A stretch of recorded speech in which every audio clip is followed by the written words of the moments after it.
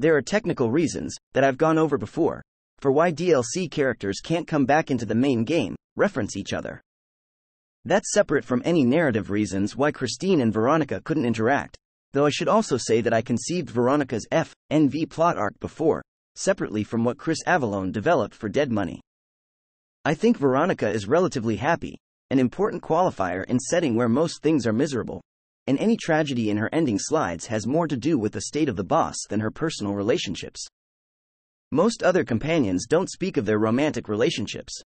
Arcade and Cassidy mention some in passing, but nothing in particular.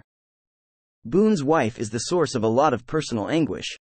You could make an argument that Boone's or Veronica's relationships are more tragic than the other, but both of them qualify as not good. Joshua Sawyer on Tumblr. Hi Josh. My question is about F, NV and the DLC Dead Money, my favorite Tilda Ha. I have to admit, after meeting Christine and running as fast as I could to Veronica to explain my experience in that world, I was disheartened to only give her a holotape from her previous elder and not get a reaction from her about, who I assumed to be, her previous lover. Was there ever going to be a dialogue option about them? I guess I'm asking for closure, happy crying face.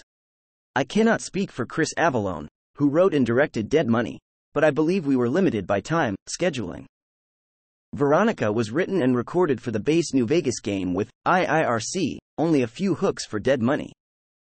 I think reactions to Dead Money content itself would have required a more comprehensive level of, way, advanced planning, i.e., we would have needed to know exactly what Veronica was reacting to in Dead Money at the time that we recorded her for New Vegas.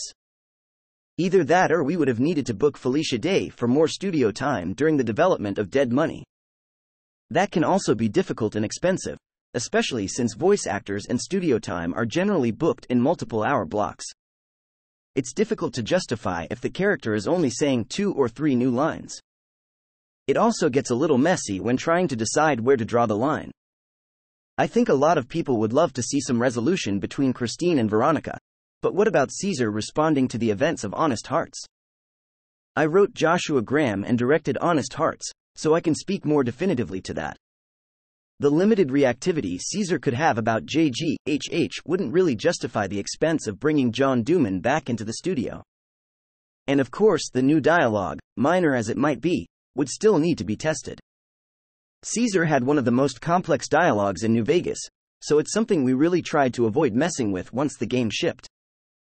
I know that might seem a little silly, but because recording expenses can be high and recording sessions typically happen late in development, it's often safer to err on the side of caution.